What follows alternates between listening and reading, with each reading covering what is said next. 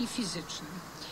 E, proces zapalny spowodowany zakażeniem jest dość złożony, przebiegając z udziałem wielu komórek układu immunologicznego, dlatego tak bardzo ważna jest sprawność układu odpornościowego e, razem z odpornością na zakażenia.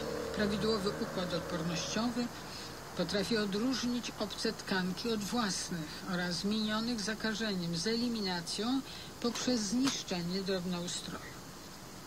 Zapalenie określane jest ostatnio jako miejscowe niedobory właśnie układu odpornościowego spowodowane przykład długotrwałą antybiotykoterapią, która dodatkowo wywiera niekorzystny wpływ na układ odpornościowy. Antybiotyki zaburzają dojrzewanie limfocytów T z upośledzeniem czynności immunoregulacyjnych. Zanim opowiem o zapaleniu zatok, przypomnę krótko anatomię i fizjologię zatok przynosowych, jakie stanowią jamki wypełnione powietrzem, znajdujące się w kościach czaszki, wysłane błoną śluzową z nabłonkiem rzęskowym, zawierającym komórki kubkowe wytwarzające śluz.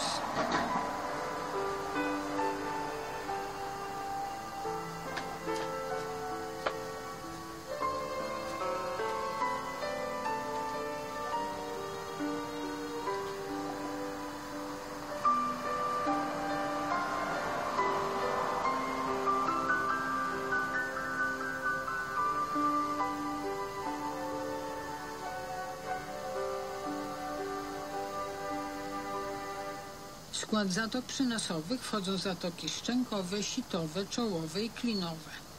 Najmniejsze spośród nich, komórki sitowe, składają się z kilku jamek, od 7 do 9, mając ujście, oddzielne ujście do jamy nosowej. Zatoki czołowe i szczękowe oraz komórki sitowe przednie uchodzą do przewodu nosowego środkowego, który znajduje się między małżowiną nosową dolną a środkową. Natomiast zatoki klinowe i komórki sitowe tylne przechodzą, uchodzą do przewodu nosowego górnego. Zatoki szczękowe, zatoki czołowe i komórki sitowe przednie otwierają się najpierw do rozszerzenia zwanego puszką sitową, która łączy się z jamą nosową szczelinowatym otworem półksiężycowatym. Zatoki przynosowe rozwijają się w okresie życia płodowego, przez uwypuklenie błony śluzowej do kości czaszki, jednakże ich rozwój kończy się znacznie później, nawet około 20 roku życia. Najwcześniej rozwijają się komórki sitowe przednie, około drugiego, trzeciego miesiąca. Tylne pojawiają się u półrocznego dziecka, natomiast najpóźniej pojawiają się zatoki czołowe, bo dopiero u wieku 7 lat prawidłowa i różnorodna funkcja zatok przynosowych jest uzależniona od przewietrzania i prawidłowego odpływu wydzieliny zatok, czyli prawidłowego drenażu, który jest uzależniany także od odpowiedniej wielkości otworów i ujść do jamy nosowej. Wszelkie zaburzenia drożności ujścia zatoki do jamy nosowej mogą powodować oczywiście utrudnienie odpływu wydzieliny, z wytworzeniem ujemnego ciśnienia połączonego z obrzękiem błony śluzowej, zastojem śluzu lub innej wydzieliny, co wraz ze spadkiem zawartości tlenu umożliwia rozwój szczególnie niebezpiecznych bakterii beztlenowych czy także tlenowych. Najczęściej przyczyną niedrożności zatok obocznych nosa są stany zapalne i alergia oraz nieprawidłowości anatomiczne, szczególnie wymieniane już skrzywienie przegrody nosa, powiększenie grobli, pneumatyzacja małżowiny nosowej dolnej, powiększenie puszki sitowej i nieżytowy przerost błony śluzowej oraz powiększenie migdałka gardłowego. Jak wspomniałam, wnętrze zatoki przynosowej jest wysłane błoną śluzową, która stanowi przedłużenie błony śluzowej jamy nosa. Dlatego infekcja prowokująca stan zapalny, chociaż w różnym nasileniem dotyka zarówno jamy nosowej, jak i zatok przynosowych, odpowiadając za wspomniane rhinosinusitis.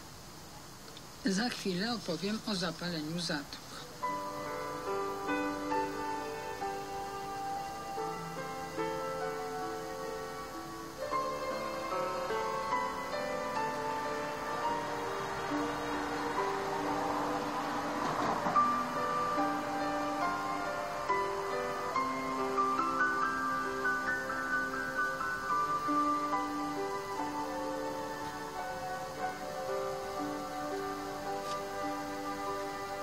Termin zapalenie zatok przynosowych o łacińskiej nazwie sinusitis, a częściej właśnie zapalenie zatok i jamy nosa, czyli rhinosinusitis, stanowi proces zapalny błony śluzowej zatok przynosowych, jaki rozwija się jako powikłanie zapalenia nosa, gardła, migdałków albo jako skutek nieprawidłowego odpływu wydzieliny i wentylacji, ale także alergii i odmienności anatomicznych, o których mówiłam, które sprzyjają stanom zapalnym.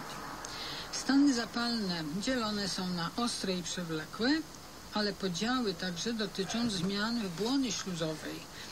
E, liczba stanów zapalnych ważna jest również przyczyna zapalenia.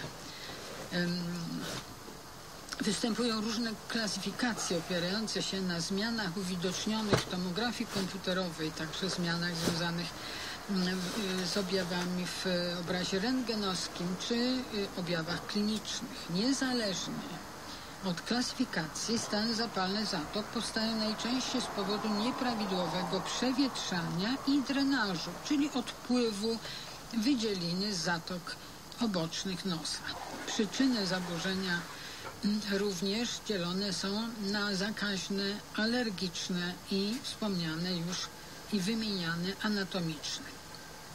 Zamknięcie ujścia zatoki najczęściej powstaje wskutek stanu zapalnego, któremu towarzyszy obrzęk błony śluzowej. Zakażenia wirusowe wywoływane przez głównie rinowirusy, także wirusy paragrypowe czy grypowe, stanowią około 20% wszystkich stanów zapalnych. Bakteryjne zapalenia zatok przynosowych powodują najczęściej, jak już wspomniałam, streptokokus, pneumonię, hemofilus influenzae i poprzednio wymieniany gram dodatni gram ujemny pałeczki. Zakażenia grzybicze rozwijają się najczęściej u osób ze zmniejszoną odpornością, a także u osób chorych na cukrzycę. Natomiast bakterie beztlenowe spotykane są zwłaszcza w przewlekłym bakteryjnym zapaleniu zatak przynosowych, także u chorych z towarzyszącymi objawami e, zapalenia zębów, zaleganie gęstej i lepkiej wydzieliny w obrębie górnych dróg oddechowych stanowi dużą przeszkodę w utrzymaniu prawidłowej drożności. Ponadto Zagęszczony śluz stanowi pożywkę dla chorobotwórczych mikroorganizmów, prowadzi do utrzymania się stanu zapalnego i powstawania tzw. Tak ognisk siejących. Wyróżnia się ostre zapalenie zatok, charakteryzowane jako nagła infekcja, trwająca nie dłużej niż 4 tygodnie, która przy zastosowaniu prawidłowego leczenia nie powinna pozostawiać powikłań. Nawracające ostre zapalenie zatok jest rozpoznawane, jeśli występują co najmniej czterokrotne zapalenia zatok w ciągu roku, trwające do 10 dni. Pod ostre zapalenie zatok jest określane jako trwające od 4 tygodni do 12 tygodni, kiedy dochodzi do regeneracji jeszcze bez pozostawania, pozostawienia trwałych zmian. Natomiast proces trwający dłużej niż 12 tygodni jest charakteryzowany jako zapalenie przewlekłe, najczęściej wskutek nieprawidłowego leczenia zapalenia ostrego czy zapalenia podostrego zatok. Zaostrzenie przewlekłego zapalenia występuje, gdy charakterystyczne dla obrazu przewlekłego zapalenia zatok e, objawy ulegają pogorszeniu, występuje gorączka, nasilenie dolegliwości bólowych. Bez względu na kryteria powstawania przewlekłych stanów zapalnych i zatok obocznych nosa y, zwykle jest podobne i początkowo dochodzi do zamknięcia ujścia zatoki do jamy nosowej, do niedrożności, co utrudnia drenaż i wentylację. Gromadząca się wydzielina w zatoce ułatwia rozwój stanu zapalnego, prowadzi do zmiany metabolizmu błony śluzowej, uszkodzenia rzęsek, które są odpowiedzialne za oczyszczanie zatok. W zapaleniach nieżytowych nabłonek pokrywający błonę śluzową zatoki jest zachowany, chociaż w ostrym, ropnym zapaleniu mogą być miejsca pozbawione tego nabłonka. Podobnie w przewlekłym, ropnym zapaleniu już powstaje ziarnina mogą także powstawać stany nowotworowe. Dochodzi może do pogrubienia błony śluzowej, utraty rzęsek e, i powstawania polipów. Stan zapalny błony śluzowej nosa i zatok przynosowych przebiega w trzech fazach. Naukowo czy klinicznie wyodrębniona jest faza naczyniowa, potem komórkowa i zakażenia bakteryjnego. W fazie naczyniowej dochodzi do obrzęku, przekrwienia i zwiększenia wydzielenia gruczołów, kiedy jeszcze nie stosuje się leków mukolitycznych, czyli leków rozrzedzających wydzieliny. Do obecny w jamach nosa i zatokach śluz jest wystarczająco rzadki, aby mógł zostać usunięty. W drugiej fazie komórkowej dochodzi już do zagęszczenia śluzu, zaleganiem w jamach nosa i zatokach, co stanowi dobre podłoże dla rozwoju flory bakteryjnej i przejścia w stan e, przewlekły, stan zapalny. Warunkiem przeprowadzenia prawidłowego leczenia zapaleń w obrębie górnych dróg oddechowych jak już mówiłam, jest poprawa drenażu z usuwaniem wydzielin. I za chwilę opowiem o leczeniu.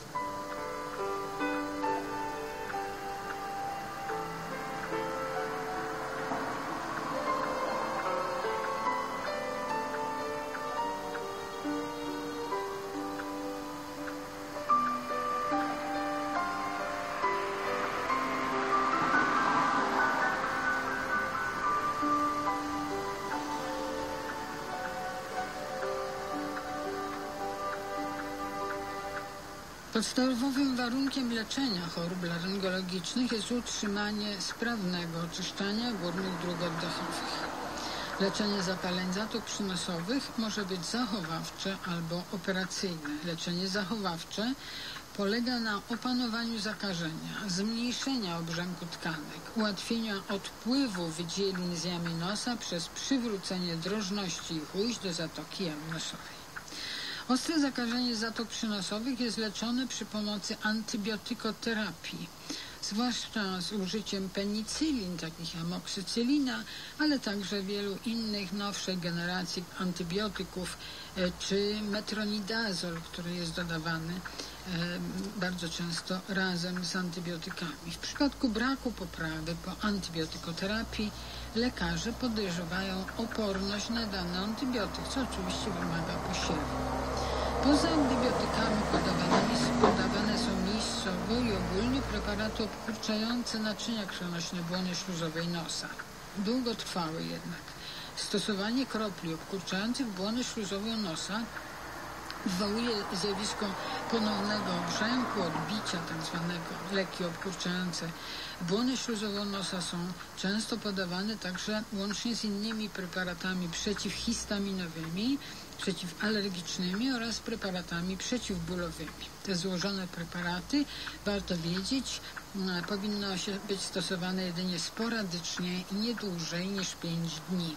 Przeciwwskazaniem do stosowania leków obkurczających błonę śluzową nosa może być cukrzyca, nadczynność tarczycy, przerowy gruczołu krokowego i jaskra. Z innych środków, które uzupełniają stosowane leczenie, to są oczywiście preparaty mukolityczne, które powodują rozrzedzenie wydzieliny w obrębie jam nosa i zatok przynosowych.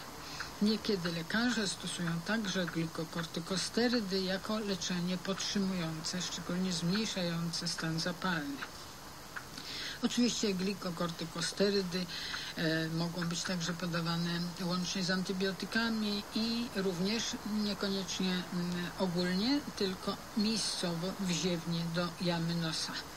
W medycynie naturalnej, także świętej Hildegardy, na przewlekły jak i na ostry Mierz nosa polecana jest mieszanka z koprem włoskim zawierająca 10 gram ziela kopru włoskiego i 40 gram koperku, które podgrzane poleca się nie tylko używać do wdychania, ale do spożywania z chlebem. W przypadku zapalenia zatok polecane jest także wdychanie mieszanki olejków eterycznych są takie preparaty w szpreju, olejek pelargonii, bartramu i gałki muszkatołowej. Zaleca się rozpylać w pomieszczeniu albo na poduszce czy ubraniu Olejki mają działanie przeciwwirusowe i przeciwbakteryjne, poprawiające odporność. Stan mm, zapalny łagodzić mogą także inne napary, na przykład z bzu, lipy z dodatkiem imbiru, cynamon, tymianku, soku z cytryny, jakie nie tylko zmniejszają katar, ale przekrwienie błony śluzowej zatoki nosa. W przypadku zapalenia zatok szczękowych i czołowych wykonuje się także punkcję zatok, jaka ma znaczenie nie tylko lecznicze, ale również diagnostyczne, które umożliwiają ocenę zatoki i drożności z pobraniem jednocześnie wydzieliny do badania bakteriologicznego i odpowiedniej antybiotykoterapii.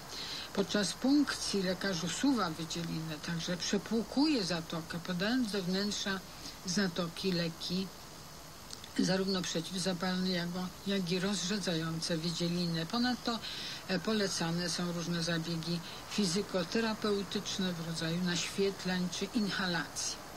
Przy braku poprawy leczenia zachowawczego wskazane, wskazane jest oczywiście leczenie operacyjne, zabiegi operacyjne dzielone są na radykalne i czynnościowe. Te radykalne polegają na szerokim drenażu, otwarciu ujścia do zatoki, zatoki do jamy nosowej, oczyszczania zatoki ze stosowaniem oczywiście wspomnianej już antybiotykoterapii, o, szczególnie o szerokim zakresie działania bakterobójczego. Zabiegi czynnościowe to są zabiegi z użyciem endoskopów, które pozwalają na udrożnienie naturalnego ujścia zatoki z usunięciem zmian chorobowych w świetle zatoki.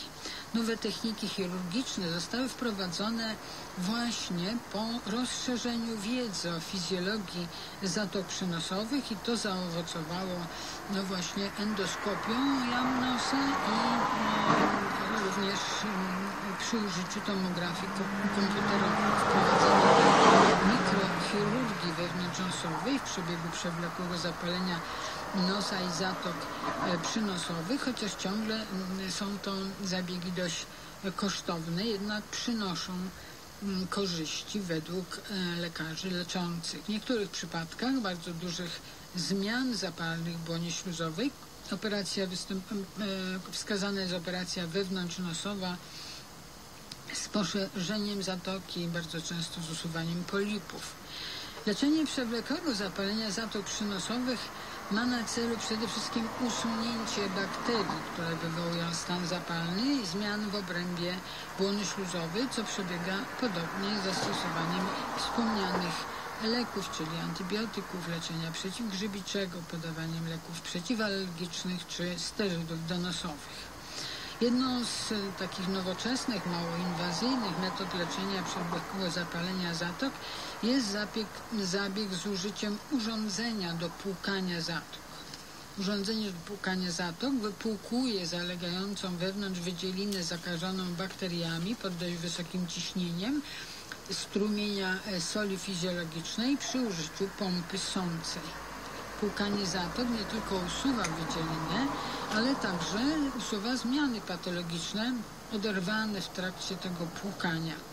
Warto pamiętać, że przedłużenie się ostrego czy podostrego zapalenia zatok przynosowych e, jest często spowodowane, już powtarzam, nieprawidłowościami anatomicznymi, które trzeba by było leczyć, które utrudniają drenaż wydzieliny z zatoki, jakie powinny być mm, korygowane no, chirurgicznie. Przedłużający się proces zapalny w obrębie zatok oraz nagłe nasilenie objawów klinicznych może także wskazywać na chorobę nowotworową, no właśnie polipową.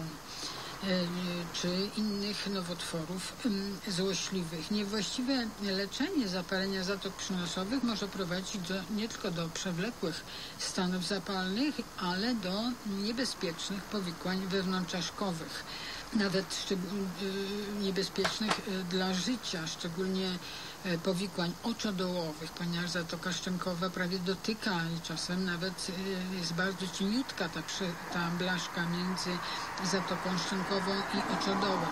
Może prowadzić do zapalenia szpiku, do wewnątrzczaszkowych różnego rodzaju E, powikłań, do czego predysponowane są szczególnie osoby po przebytych urazach głowy z złamaniem kości zatok e, i szczególnie ze zmniejszoną odpornością na skutek przebytej radio czy chemioterapii. Także po leczeniu sterydami czy przy współistnieniu e, chorób ogólnoustrojowych. Ważną rolę w szerzeniu Zakażenia mają także zakrzepy w obrębie naczyń żylnych i limfatycznych, jak również e, szerzenie się zakażenia wzdłuż nerwów. Stąd e, bardzo ważne jest leczenie i niedopuszczanie do tego rodzaju powikłań. To tyle, co w dzisiejszym programie chciałabym Państwu powiedzieć o zapaleniu zatok i leczeniu. Bóg zapłać za uwagę. Z Panem Bogiem. Były to porady lekarskie, których udzielała doktor nauk medycznych Urszula Krupa.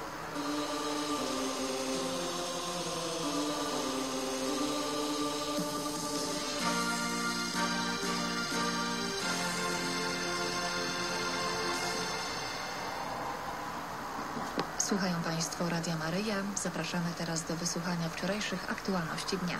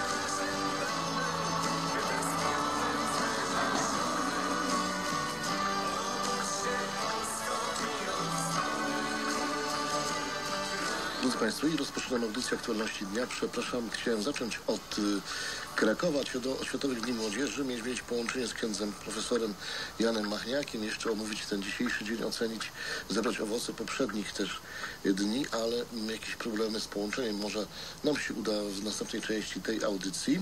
A teraz już y, połączenie i rozmowa z panem posłem y, Stanisławem Piotrowiczem. Witam serdecznie, panie pośle na antenie Radia Szczęść Boże Ojcu, szczęść Boże Państwu. Szczęść Boże. Chciałbym do takiej sprawy się odnieść.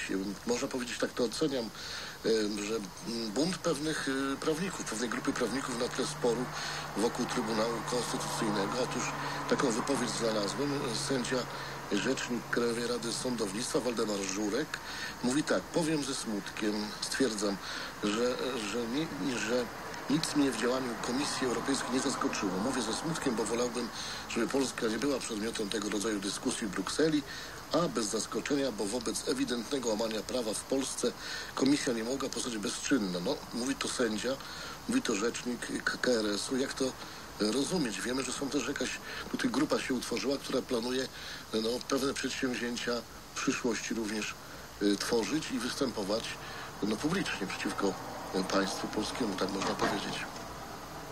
E, Pan sędzia Żurek łamie pewne standardy. Wykracza poza swoją rolę rzecznika Krajowej Rady Sądownictwa. Zresztą publicznie panu sędziemu zwracałem na to uwagę. Zwracałem uwagę również na posiedzeniach Krajowej Rady Sądownictwa, której z ramienia Sejmu jestem członkiem.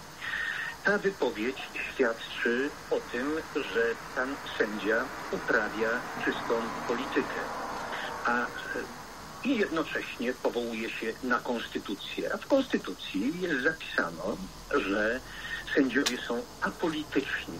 Apolityczni to nie znaczy, że nie mają poglądów politycznych. Są ludźmi, ale nie mogą z tymi poglądami się afiszować, obnosić i prezentować tych poglądów. Na tym apolityczność polega. Pan sędzia Żurek od pewnego już czasu bierze aktywny udział w grze politycznej. Stał się politykiem pewnie bardziej niż sędzią. Poszedł w tym zakresie ślady pana prezesa Trybunału Konstytucyjnego e, Andrzeja Rzeplińskiego. Jeżeli mówimy o sytuacji sądownictwa w Polsce, to trzeba mieć na uwadze, że używa się e, w dyskusji, w dyskusji ze strony środowisk sędziowskich używa się argumentu podobnego jak w walce o Trybunał Konstytucyjny. Powiada się o jaką wielką wartością jest niezależność yy, sądu, niezawisłość sędziowska. To prawda, to są wartości. Ale powiada się, że to wszystko dla dobra obywateli. Tymczasem prawda jest zgoła odmienna. Nie o prawa obywateli, o dobro obywateli chodzi, a chodzi przede wszystkim o e, zaangażowanie polityczne. I dziś coraz bardziej staje się to czytelne i chyba jasne dla obywateli. Trybunał Konstytucyjny nie zabiega o konstytucję, o prawa człowieka i prawa obywatela, ale Trybunał Konstytucyjny stał się narzędziem w rękach opozycji. Również część środowiska sędziowskiego, znaczna część środowiska sędziowskiego stoi po tej stronie, aby nie dopuścić do jakichkolwiek zmian w Polsce. A więc te środowiska bronią starego układu, bronią establishmentu III Rzeczpospolitej. To coraz wyraźniej wynika. Żeby tak nie być gołosłownym, to pod tymi szczytnymi hasłami obrony niezależności i niezawisłości kryje się taka treść. Oto zacytuję wypowiedź pani pierwszej prezes Sądu Najwyższego, e, pani profesor Gersdorf, która stwierdza tak. Zagrożeniem dla niezawisłości sędziowskiej jest prawo ministra do zmiany siedzib sądów i granic okręgów sądowych. Zagrożeniem jest wgląd ministra do akt sądowych. Zagrożeniem dla niezawisłości sędziowskiej jest to, by oskarżycielem przed sądami dyscyplinarnymi dla sędziów był prokurator. I osądźcie Państwo sami, czy tego rodzaju działania to służą dobru obywateli, czy też godzą w dobra obywateli. Dla mnie ewidentnym jest to, że żadna władza, tym również i sądownicza, nie może pozostawać pod za jakąkolwiek kontrolą. Każda władza winna być kontrolowana. Na tym polega, polega konstytucyjny podział władz, ale i równowaga władz. A żeby ta równowaga mogła się zmaterializować, ta równowaga, o której napisano w Konstytucji, no to muszą być odpowiednie narzędzia. I jeżeli chodzi na przykład o postępowania dyscyplinarne, no to przecież dziś sytuacja wygląda w ten oto sposób. Sędziowie oskarżają sędziego i sędziowie wydają wyrok. A więc wszystko odbywa się we własnym sosie. Jeżeli prokurator zwróci się o uchylenie immunitetu jakiemuś sędziemu, no to również sytuacja jest tego rodzaju, że sędzia będzie o to wnosił e, przeciwko sędziemu e, i stąd składający się z sędziów orzeknie, czy tego immunitetu go pozbawić, czy też nie. Jeżeli stwierdzi, że żeby immunitetu nie pozbawiać, no to prokurator jest bezsilny. I tu można powiedzieć, że w postępowaniach dyscyplinarnych mamy do czynienia z dwoma postawami. Z jednej strony e, środowiska bronią się przed tym, ażeby immunitet był uchylany. Nie tylko z tego względu, nawet jeżeli uznają, że w konkretnej sytuacji powinien być uchylony, to obawiają się precedensu. Jeżeli ja dziś, jako sędzia, przyczynię się do uchylenia sędziemu, który zawinił, to w przyszłości może mnie to spotkać. W związku z tym lepiej nie stwarzać takiego precedensu. I dlatego tak rzadko spotykamy się z uchylaniem immunitetu. Dalej o zaangażowaniu politycznym sądów może świadczyć stanowisko, wypowiedź sędziego e, Macieja Strączyńskiego, prezesa Stowarzyszenia Sędziów Justicja, który wypowiedział się w ten sposób.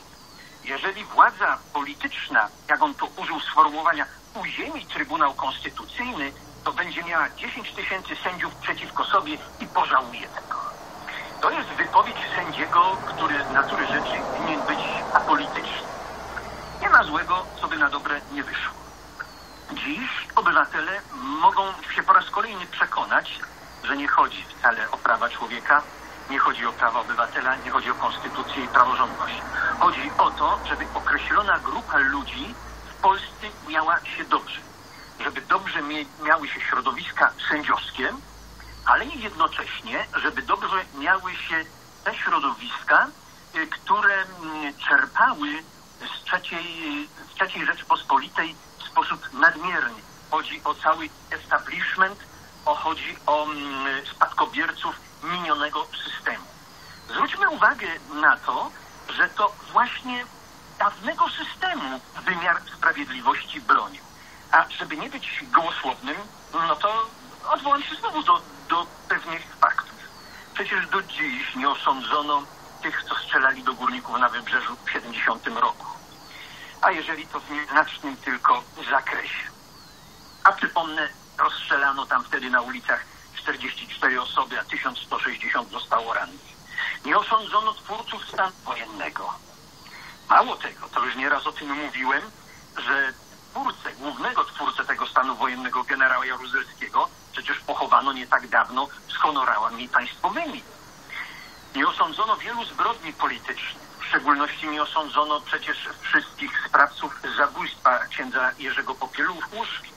Osądzono tych bezpośrednich wykonawców, a tych zleceniodawców przecież y, nie. I tak dalej, i tak dalej. Trybunał Konstytucyjny jaką jeszcze rolę odegrał? Nie tak dawno, bo przecież w kwietniu, o tym też chyba już mówiłem na antenie tego radia, y, wydał y, takie postanowienie, mocą którego nie można przeprowadzić lustracji sędziego, który okazał się kłamcą lustracyjnym i jeżeli środowisko sędziowskie, sąd dyscyplinarny takiego immunitetu sędziemu nie uchyli. A więc Trybunał Konstytucyjny zablokował e, orzeczeniem sprzed roku, zablokował e, lustrację sędziów. Występowałem wtedy z ramienia Sejmu przed Trybunałem Konstytucyjnym. Jakież było zdziwienie wszystkich uczestników tamtego postępowania. Otóż wieloletnia, ugrunt, wieloletnie ugruntowane orzecznictwo sądów apelacyjnych w Polsce, postanowienia i wyroki Sądu Najwyższego ukształtowały taką linię orzeczniczą, że oto dla stwierdzenia, czy sędzia był kłamcą lustracyjnym, czy też nie, nie potrzeba mu usilać immunitetu.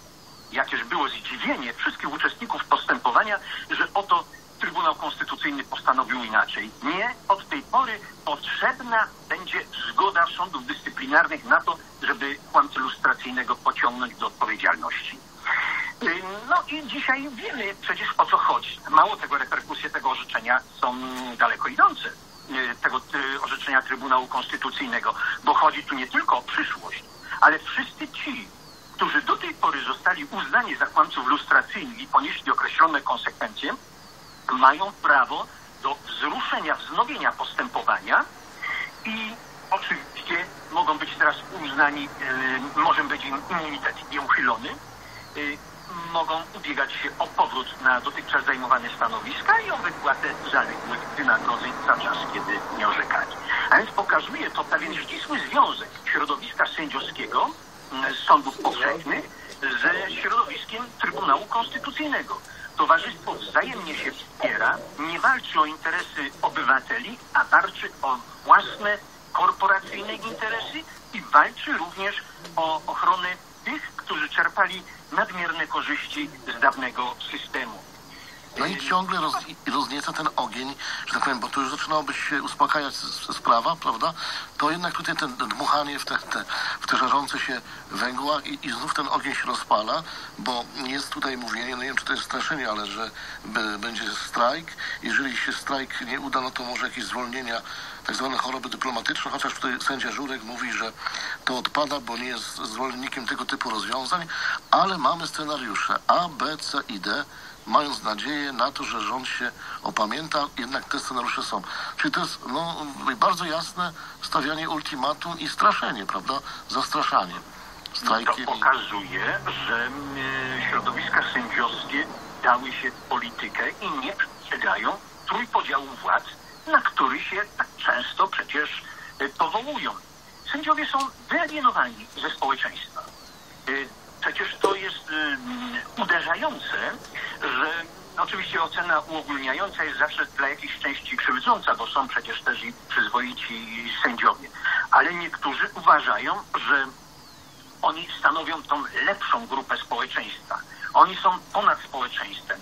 Należy się im szacunek, uznanie, wara komukolwiek od jakiejkolwiek krytyki e, e, środowiska sędziowskiego, wara od krytykowania orzeczeń sądowych i coraz dalej idące aspiracje. E, Między innymi e, pamiętam taki, e, takie konferencje Europejskiej Sieci Rad Sądownictwa parę lat temu odbywała się we Wrocławiu. I tam właśnie przewodniczący Krajowej Rady Sądownictwa z Polski jako przykład braku niezawisłości i niezależności sądowej podkreślał to, że w Polsce mamy dramatyczną sytuację, bo to o przyznaniu budżetu e, sądom decyduje władza ustawodawcza i wykonawcza.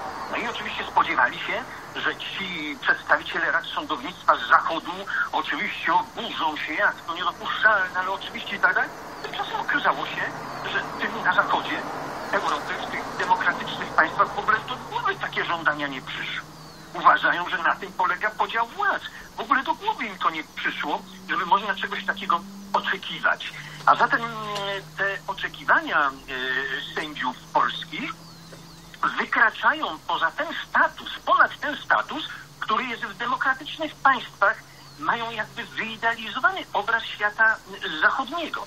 I niebezpieczeństwo polega na tym, że w krytyce y, rządzących w Polsce dziś y, nie odnoszą się do konkretów, tylko używają ogólników. O zamachu na niezależność, o zamachu na niezawisłość sędziowską, a nie precyzują o co chodzi. Bo gdyby to doprecyzowanie nastąpiło, no to pewnie by się okazało, no to Cóż was tak bulwersuje? Przecież takie rozwiązania są wszędzie w cywilizowanym świecie, więc dlatego używa się takich ogólników. No i oczywiście to środowisko uczestniczy em, arenie międzynarodowej w szkodzeniu Polsce poprzez przedstawianiu zniekształconego obrazu państwa polskiego. Ale dziś władza, która posiada legitymację demokratyczną, jest zdeterminowana. Ale chcemy też, żeby to nasze zdeterminowanie spotkało się ze zrozumieniem obywateli. O dobro obywateli troszczą się dziś rządzący. Natomiast wymiar sprawiedliwości broni zupełnie czego innego, mimo że prawami człowieka i obywatela się zasłania. Robiąc kropkę, panie pośle, możemy powiedzieć, bo czas ograniczony, mamy jeszcze tematy, że skoro pojawiają się scenariusze A, B, C i D, rząd na pewno znajdzie również odpowiedź na tego typu scenariusze, że po prostu nie, nie, nie da sobie tutaj, że tak powiem, no, wytrącić. mm, Rząd się nie ugnie, tak. będzie realizował to, co obiecał obywatelom, a zdecydowana większość obywateli oczekiwała reformy wymiaru sprawiedliwości. Naród jest niezadowolony z funkcjonowania wymiaru sprawiedliwości, rząd to dostrzega i podejmie wszelkie wysiłki. A my będziemy dalej śledzić, rozmawiać na ten temat. Ja tylko przypomnę, chciałem pana posła poprosić o komentarz właśnie do wypowiedzi e, tutaj sędziego, rzecznika Krajowej Rady Sądownictwa i bo myślę, że ona nie była warta dlatego, że była przepiękna w sensie tutaj merytorycznym, ale po prostu była no, zaskakująca, więc e, na pewno komentarz do niej jest ba- bardzo potrzebny i na czasie. Panie pośle, dziękuję bardzo za wypowiedź, pozdrawiamy serdecznie. Serdecznie dziękuję. Szczęść Boże, Szczęść Boże. szczęść Boże Państwu. Dziękuję bardzo. E, Naszym gościem był prawnik, pan pos, po, poseł e, Stanisław Piotrowicz. Dziękujemy za rozmowę. Za chwilę kolejny temat.